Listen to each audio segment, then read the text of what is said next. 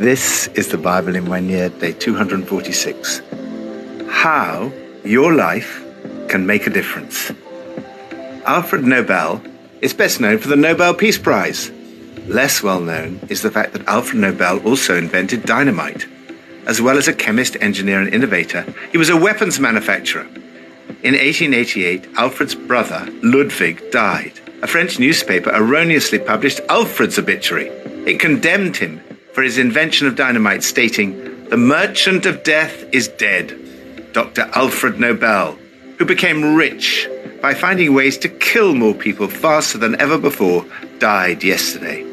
Alfred Nobel was devastated by the foretaste of how he would be remembered. His last will and testament set aside the bulk of his estate to establish the Nobel Prizes. He gave the equivalent of $250 million to fund such prizes. Alfred Nobel had the rare opportunity to evaluate his life near its end and live long enough to change that assessment. Have you ever wondered what difference your life might make? How can your life bring blessing to other people? How can you change the world for the better? How can your life be of ultimate lasting value? How can we lead fruitful lives? From Psalm 105. When they were but few in number, few indeed, and strangers in it, they wandered from nation to nation, from one kingdom to another. He allowed no one to oppress them. For their sake he rebuked kings. Do not touch my anointed ones. Do my prophets no harm. He called down famine on the land and destroyed all their supplies of food. And he sent a man before them, Joseph, sold as a slave. They bruised his feet with shackles, his neck was put in irons, till what he foretold came to pass, till the word of the Lord proved him true. The king sent and released him. The ruler of peoples set him free. He made him master of his household, ruler over all he possessed, to instruct his princes as he pleased, and teach his elders wisdom. Fruitfulness comes from faithfulness to God. If your life is to be fruitful, you have to stay faithful to God in the difficult times. It's relatively easy to be faithful to God when all is going well in life. The test comes when you face fierce temptation and great trials. As the psalmist gives thanks to God for his faithfulness to his people, he recalls the life of Joseph. Joseph's life was immensely fruitful. Pharaoh made him master of his household, ruler over all he possessed, to instruct his princes as he pleased and teach his elders wisdom. As a result, the Lord made his people very fruitful. But Joseph's fruitfulness came at a price. In the early days, it didn't seem like his life would be at all fruitful. He was sold as a slave. They bruised his feet with shackles. His neck was put in irons. Joseph went through betrayal, slavery, temptation, imprisonment, and a great deal of suffering. Yet in all this, he remained faithful. The reason for Joseph's faithfulness was that he trusted that God was in control, even in the bad times. And eventually, the word of the Lord proved him true. Not only did Joseph remain faithful to God despite his seeming abandonment, but he also remained faithful to his family in totally forgiving them rather than blaming and rejecting them. Ultimately, his faithfulness led to great fruitfulness. Lord, thank you for your amazing faithfulness to me. Help me to be faithful to you, even in the difficult times of temptation, disappointment, and discouragement. Like Joseph, may my life be fruitful. New Testament from 2 Corinthians 6 and 7. We put no stumbling block in anyone's path, so that our ministry will not be discredited.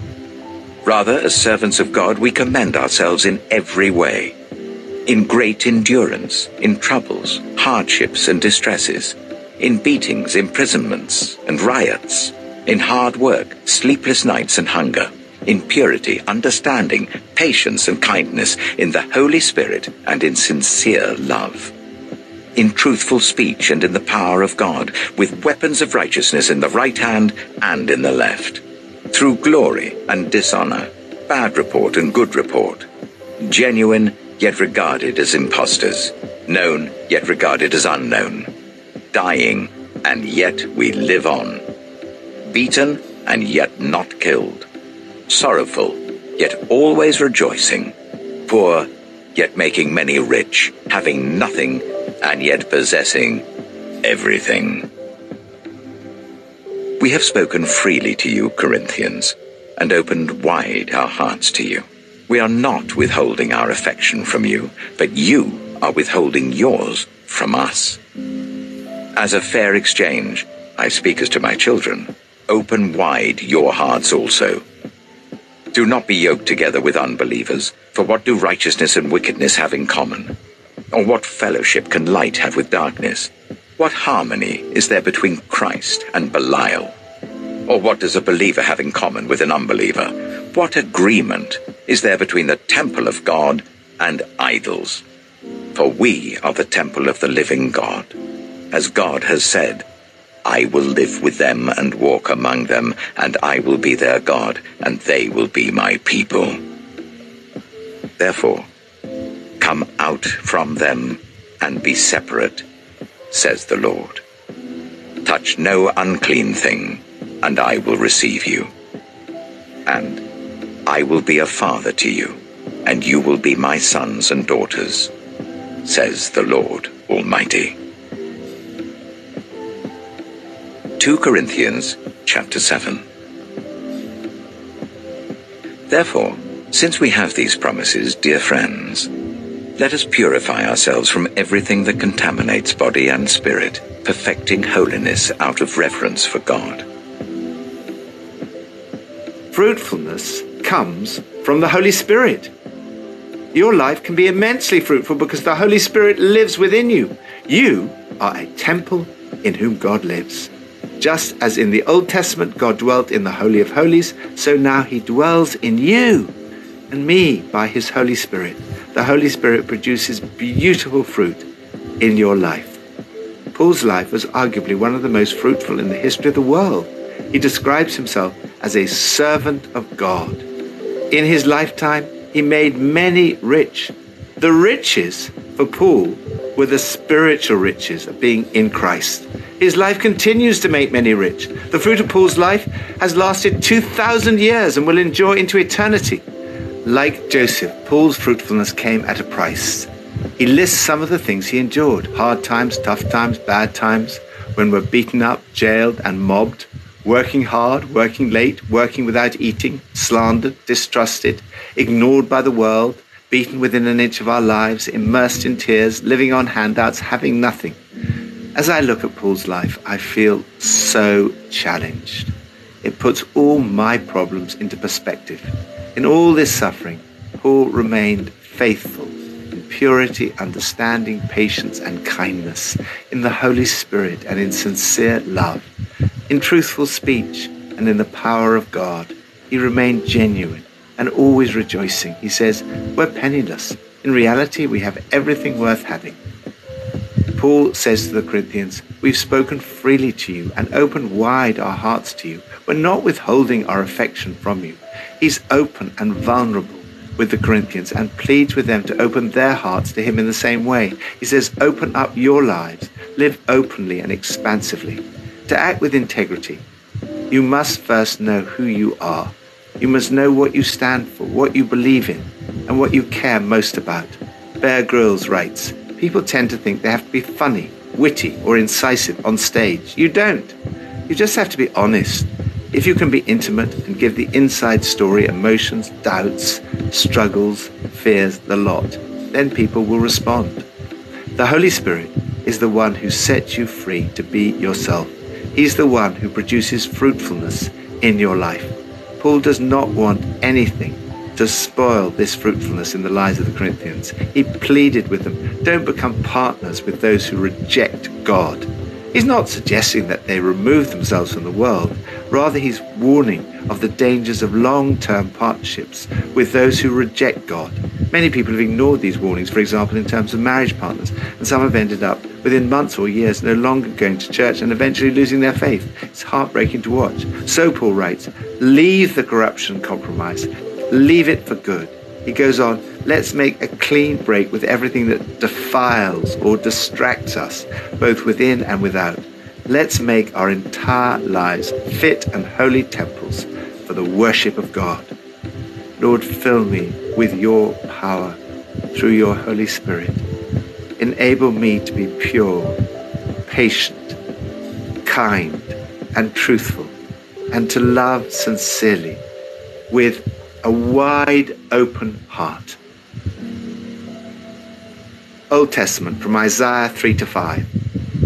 See now, the Lord, the Lord Almighty, is about to take from Jerusalem and Judah both supply and support.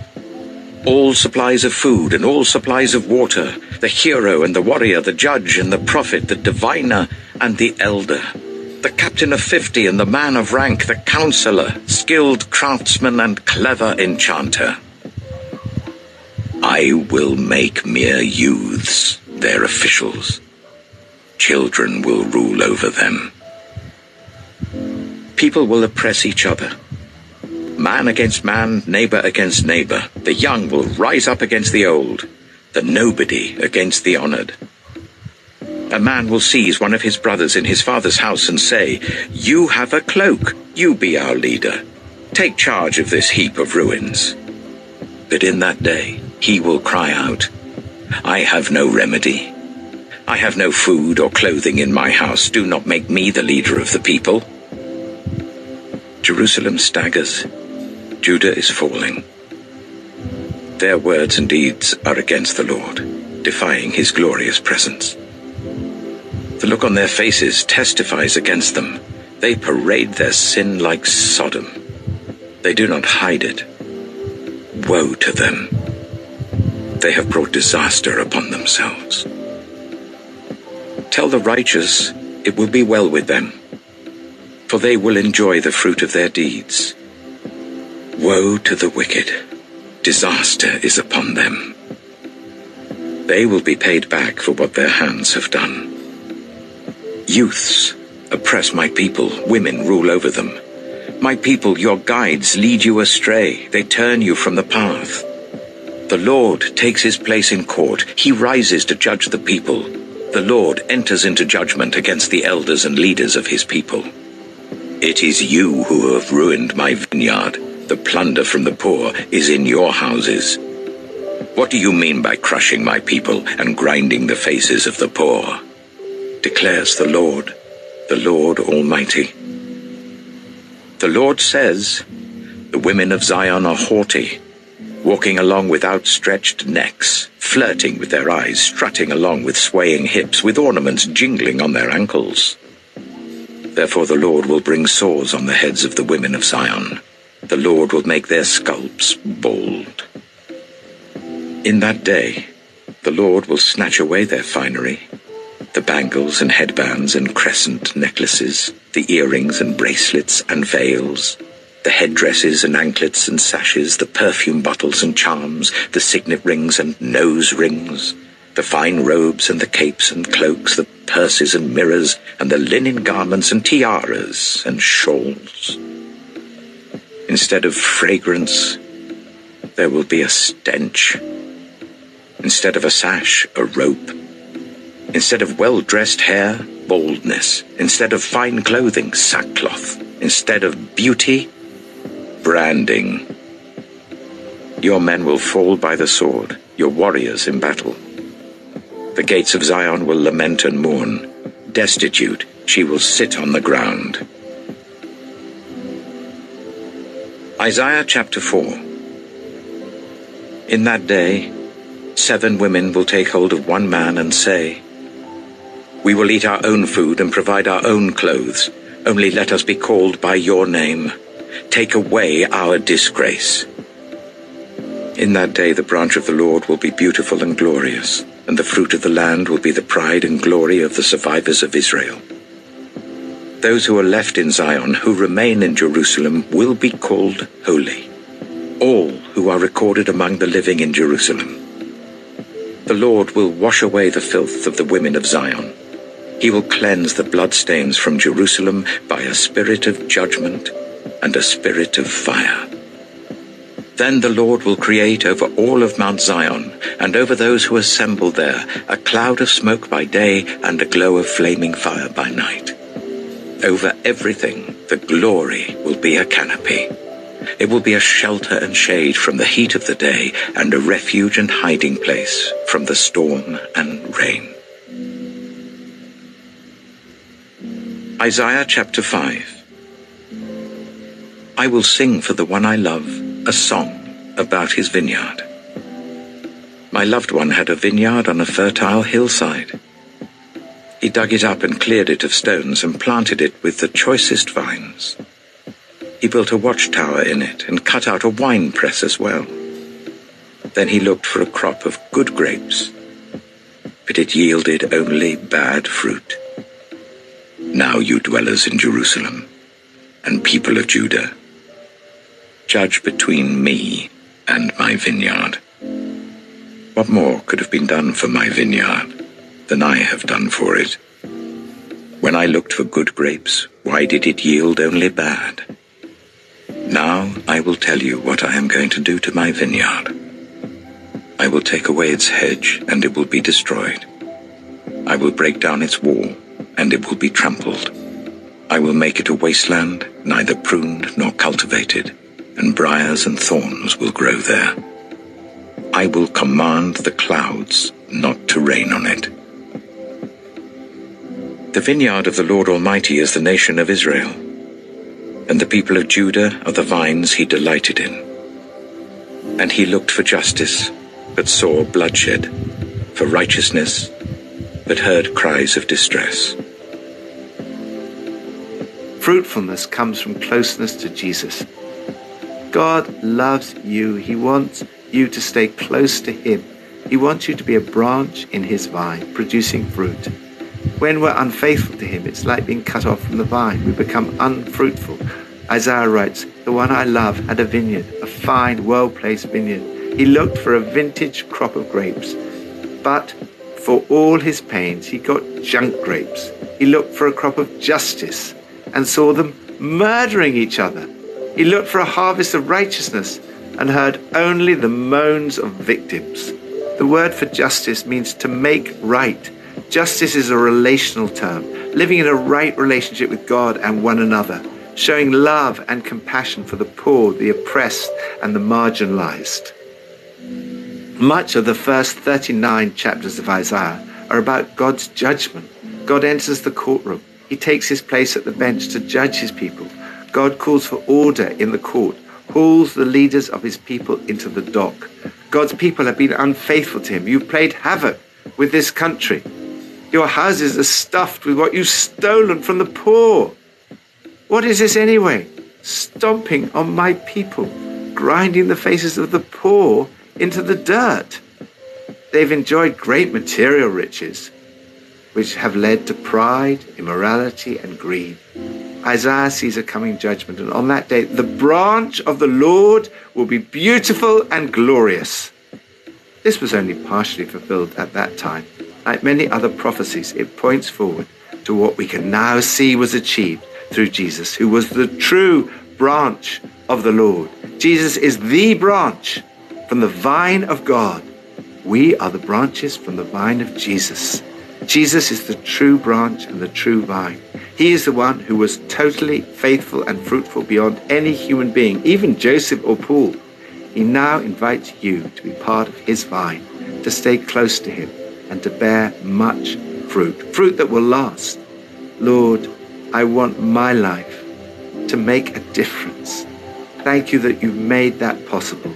Keep me close to you, faithful and filled with the Holy Spirit, bearing fruit that will last. Pippa adds In 2 Corinthians chapter 7 verse 1 it says, "Let us purify ourselves from everything that contaminates body and spirit." I need a detox before the start of the beginning of term. I don't need to just cut down on things like chocolate. I possibly need to cut them out.